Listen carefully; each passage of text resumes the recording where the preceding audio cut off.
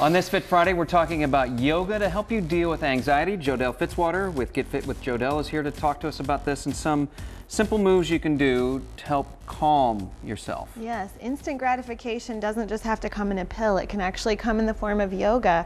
And almost everybody you talk to today is stressed out with stress and anxiety and tension. And so these are just some quick things you can do no matter if you're at your workstation, you're at your home, you're out and about. These are just some easy ways to kind of regroup, come back into yourself and reconnect and calm yourself down. Okay. So the first thing I'm going to have you do is just have a seat in the chair, just as if you were at your workstation, okay. at your desk or whatever, and you're just really stressed out and you just need a quick calming technique. So basically all I'm going to have you do is separate your feet and let your body hang through. Just a forward fold, we call this, where your arms are going to hang through, your head's going to hang down, and we just focus on taking about three to five deep breaths here to kind of open up the back body and let the head completely relax. So we're reversing the blood flow to come down and rejuvenate the brain and give you a little more mental clarity and a little calmer brain. The next one, um, our hips are huge storage depots for stress and tension. So you began in a position that was really good. You had one leg crossed over your knee when oh. you sat down.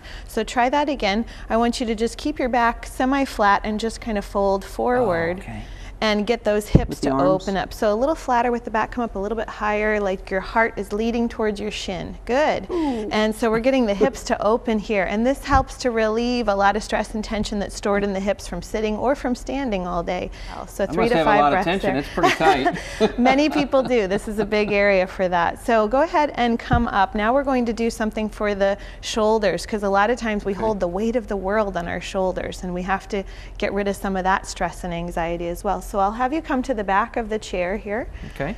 And we're just going to simply put your elbows on the chair. And anybody can do this, whether they have a desk or a countertop that they can just lean forward on, placing the elbows there and placing your palms together. And what we're going to okay. do here is release the shoulders. So back your feet up slightly, bend the knees, let your tailbone draw back and your back flatten. Let your heart melt through your shoulders.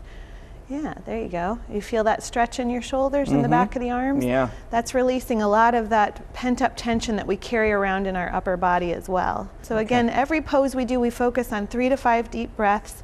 And then finally, the last one is a nice breathing exercise. So have a seat in the chair. You can do this without a pose.